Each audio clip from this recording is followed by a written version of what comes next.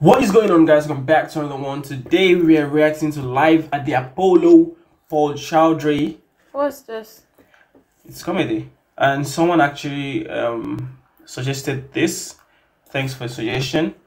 Um, yeah, it's been a long time, but we are back to stay. Hopefully, so let's let's react. Let's react.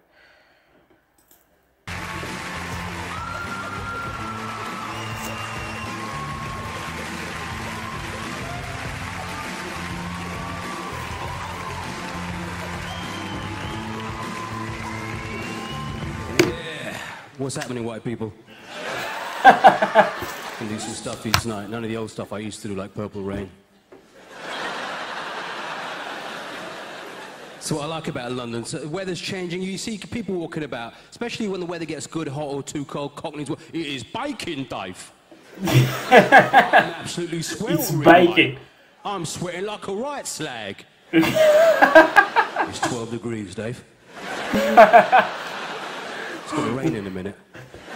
You know what? Indians walking about with their coats and jackets on. It's too cold to get the coat and the jacket. sweater. It's too cold, bastard. it is biking, Dave. Some wear fine. the different clothes. How many people that keep this country going are the illegal minicab drivers? I get this cab the other day, right? Starts telling me his life story. I'm in the back. In my country, I was a doctor. it's African. What?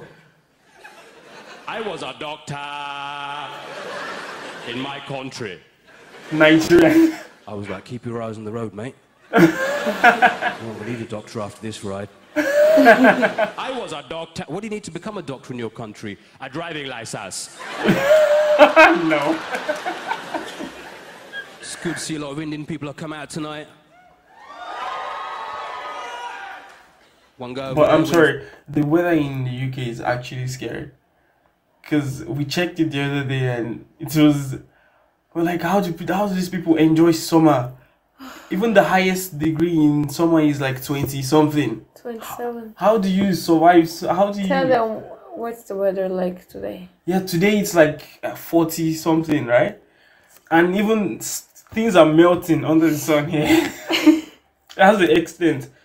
Like waste bins are melting under the sun. So I don't know. It's but it's too cold still.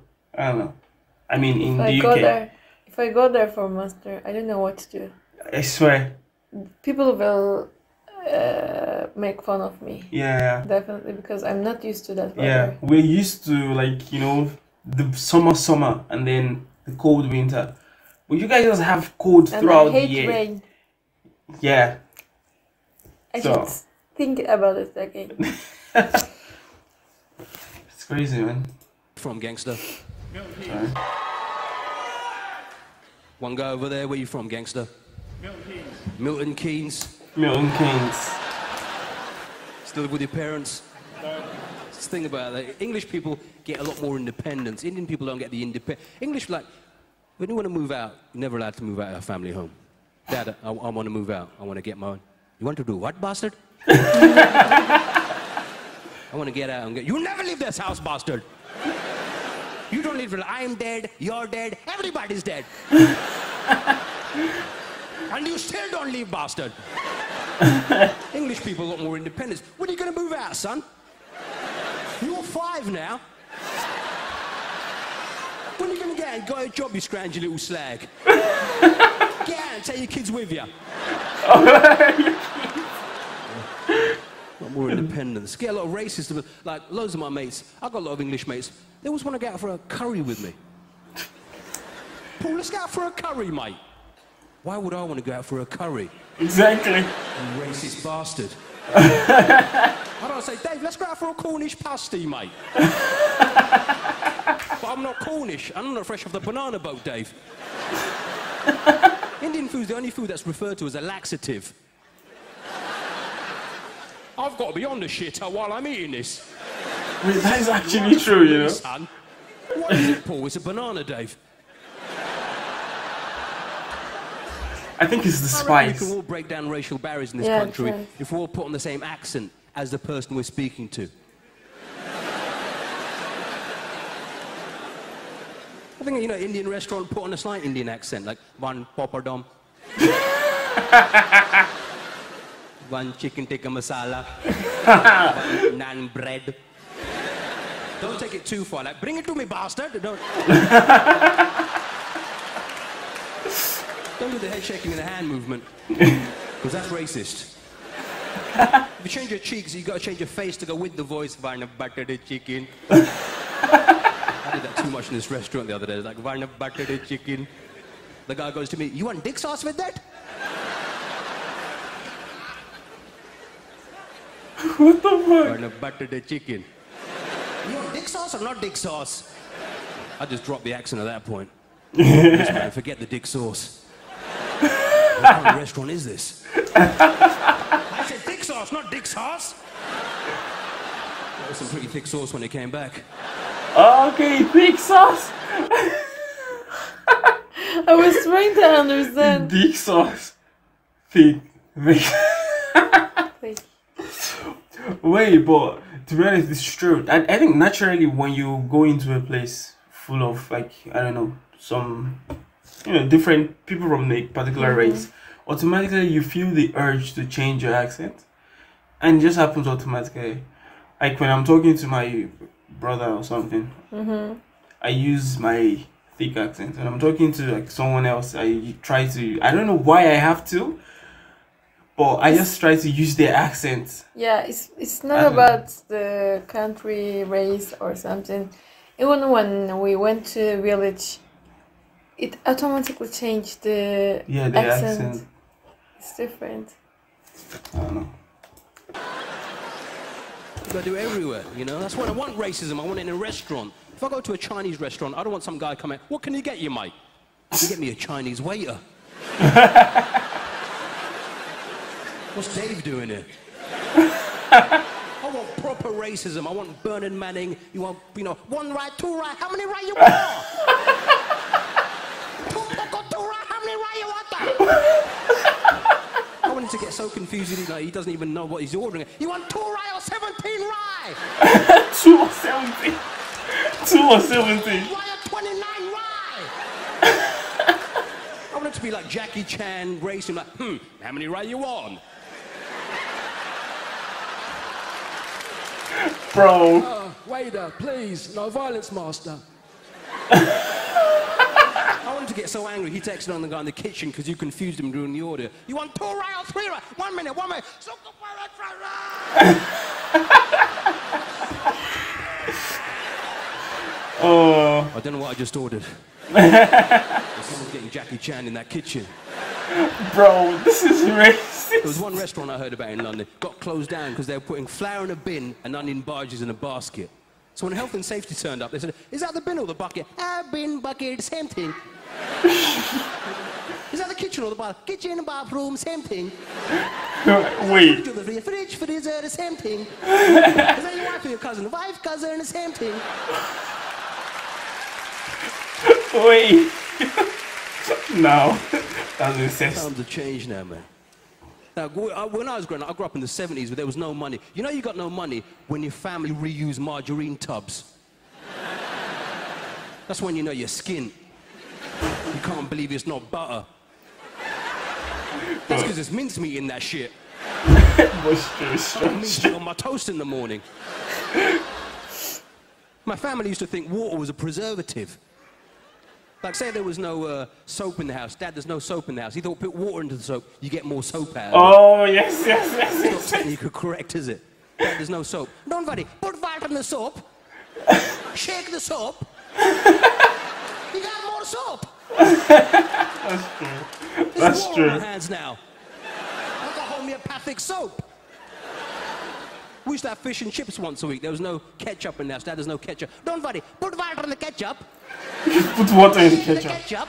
Ew, no, no. That's disgusting. You got more ketchup. I've got red war on my chips now. I've got soggy chips. I had so much water on my plate, the fish started swimming about again.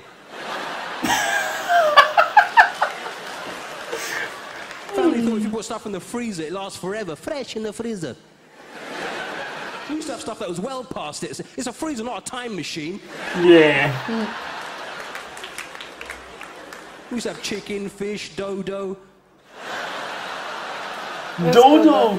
Dodo is like I don't know if that's what he means, but it's an African um plantain, mm. like fried plantain. That's what we call it. I don't know that if that's what he means, but yeah, we have to But I know it's different. That's why Yeah, I break down barriers. Like I travel on Virgin planes now, right? Problem is, when I travel abroad on Virgin planes, you can phone up your people, tell them when you're arriving at your destination. They've got phones on the planes. Oh, Problem is, most of my family speak Punjabi abroad. So when I'm telling them I'm arriving, i got to tell them in Punjabi. I was on the plane. I was like, on my flight uh, 749, 10 minutes to which land karda pya. The guy next to me shit himself. why?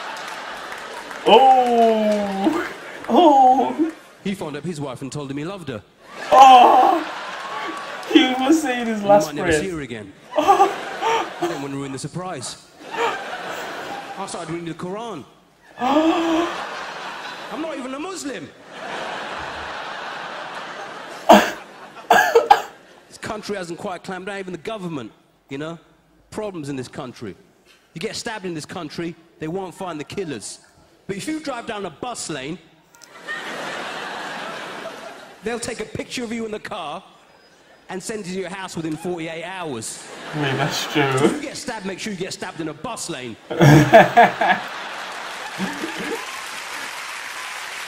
I've read of something like that. It's a problem, you know. Even like people don't even wear their seatbelts to the car. Government had this campaign, going to try and help people wear a seatbelt. This guy goes to pick up a pizza. He's not wearing a seatbelt. He crashes a car. Pizzas flipped up all over the place. Pepperoni everywhere. He's dead. Second take, he picks up a pizza again, crashes a car. This time he's wearing a seatbelt. Pizzas flipped up all over the place. Pepperoni everywhere. But he survives. He says, What have you learned from this video? I'm like, Get your pizza delivered.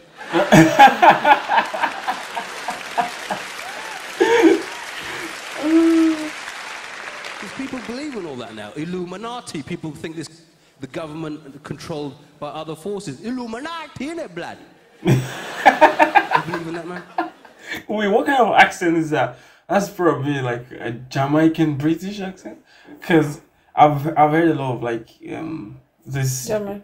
sports YouTubers like they do it a lot and most of them are like you know Africans, Jamaicans and stuff and mm-hmm. that's I don't know if it's DT. There's one guy named DT. He does that like that's where he's The been. forces and all that now. Illuminati. People think this, DT? the government controlled by other forces. Illuminati, innit, blood?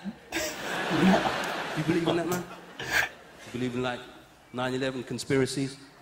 I got mates like you. My mate goes, King Kong did that, innit? Where was King Kong during 9/11, blood? He goes, blood, yeah, don't phone me my mobile, innit? Call me my landline. How come? CIA, innit? You live in England, you idiot. you don't know, innit? CIA, MFI, M&S. Goes, Illuminati, blood, yeah? He goes, he goes, yeah, blood, yeah. Bin Laden, yeah? He's not even dead, innit? What are you talking about? Goes, if he died, he would have got a Muslim burial. No, he wouldn't. Bin Laden didn't deserve to get thrown into the sea. We should have just chucked him into a wheelie bin. Like we did with that cat last year. And then we could have called him Osama Wheelie bin Laden.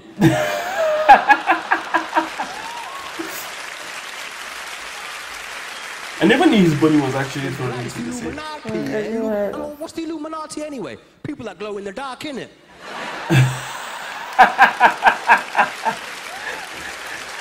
Illuminati. My time, you've been a great crowd. And he's okay. The thing is, yeah, yeah, he's got like the way he delivers his jokes is different from like other comedians we've watched. Mm-hmm. Like, I think he, he he's a bit like Jimmy. What is his? No, not. He's very offensive too, mm. and there's a way he delivers his jokes. Like he just delivers it in one line, and then the previous joke isn't connected to the next one and stuff mm. most times. So I think that's the way he does his jokes too, and it's really, really, really good. His delivery is good. But in accent, uh, Trevor Noah is Yeah, the yeah. best. Yeah, I think Trevor Noah still like beats everyone when it comes to accents. But he's got good um im- Yeah. impressions too. True. Uh, yeah, that was um live at Apollo Paul Sh- Shaldra. I don't know if, I know that's the way to pronounce it. Paul. Paul. Paul. Yeah. Thank you guys for watching and until see you next time. Peace out.